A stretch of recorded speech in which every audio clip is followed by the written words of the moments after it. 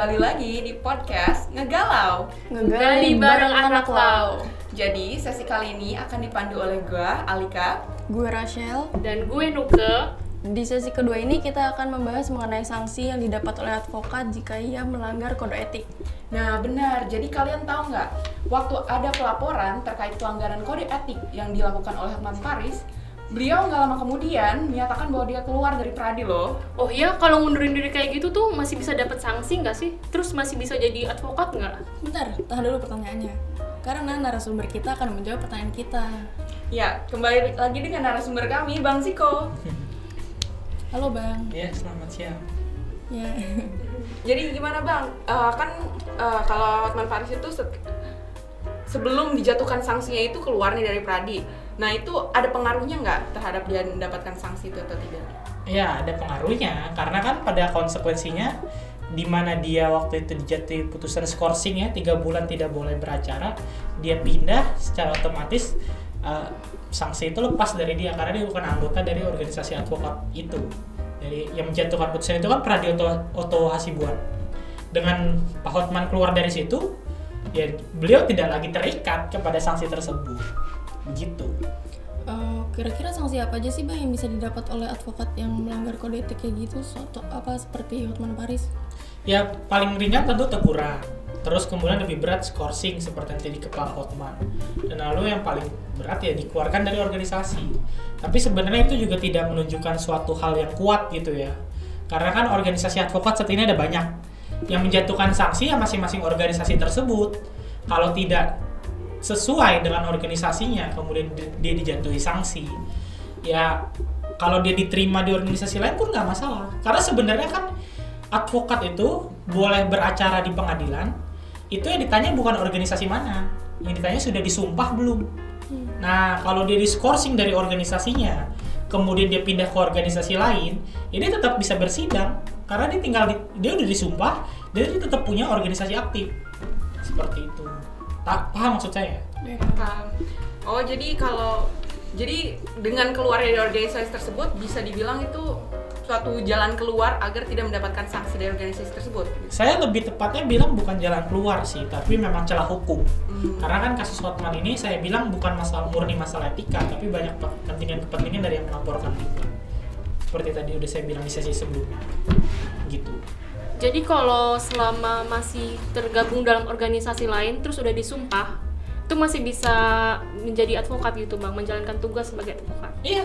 Karena kita ketika beracara di pengadilan hakim itu cuma nanya mana BA bas kamu berita acara sumpah kamu?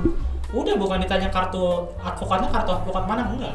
Cuman kita tetap harus punya organisasi karena di undang-undang advokat jelas bahwa eh, advokat harus tergabung dalam suatu organisasi profesi.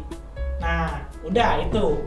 Jadi kalau kita punya udah punya bas udah punya berita acara sumpah dan kemudian kita misalnya kena sanksi skorsing kayak Bang Hotman pindah ya nggak apa-apa. Karena yang penting kita sudah pernah disumpah. Dan kemudian sudah dan kemudian tetap punya organisasi aktif di situ. Oh gitu. Baik.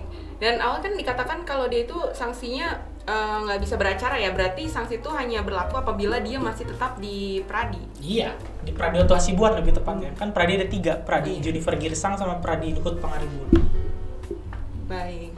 Oke, jadi semuanya kalau berdasarkan yang kita dapat dari informasi Bang Ziko ini, selama masih tergabung dalam organisasi lain selain Pradi, nggak harus Pradi juga, kita itu eh, sebagai advokat masih bisa beracara selama kita tuh udah disumpah.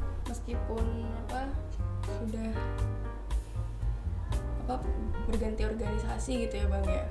So, eh, ya berganti. Karena karena sesuai surat ketua MA dan tahun 2015 dan putusan MK ya memang orang kan jadi advokat bukan karena organisasinya tapi karena disumpah di pengadilan tinggi. Jadi MA pun mengatakan, Mahkamah Agung mengatakan ya silakan dari organisasi mana pun boleh jadi advokat gitu. Kalau misalnya bolak-balik ganti organisasi itu gimana Bang? Masih bisa juga? kan kita udah disumpah. Iya. Bahkan saya punya saya tahu orang yang dia punya organisasi advokatnya itu dua. Bisa dua. Bisa, asalkan tidak bermasalah dari organisasinya kan organisasi advokat ada banyak.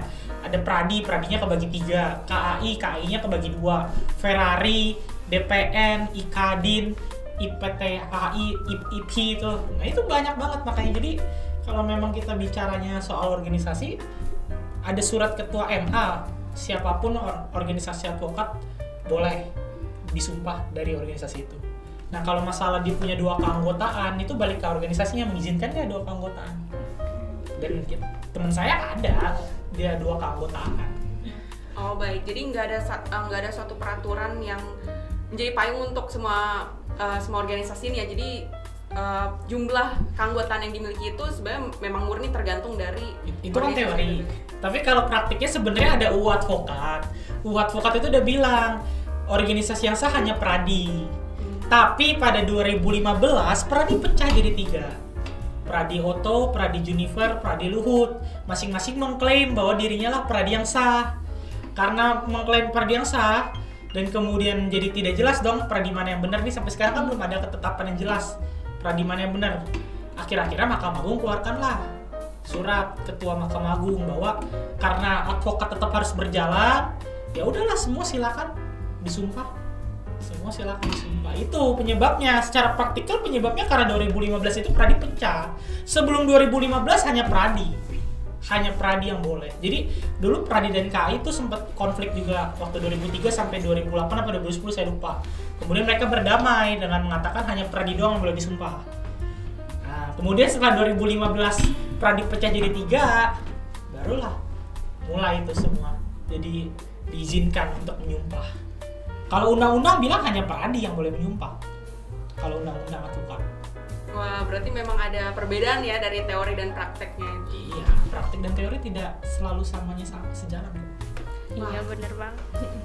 Ternyata topik ini memang sangat menarik ya untuk dibahas, tapi ternyata kita udah lama banget ya ngebahas tentang topik ini.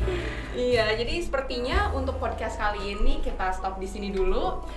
Terima kasih banyak kepada Bang Ziko yang sudah bersedia jadi narasumber hari ini dan juga terima kasih banyak kepada kalian semua yang setia tetap menonton sampai akhir. Jangan lupa like, komen, sama subscribe, Subscribe. Sama share-nya juga. Terima kasih. Terima kasih.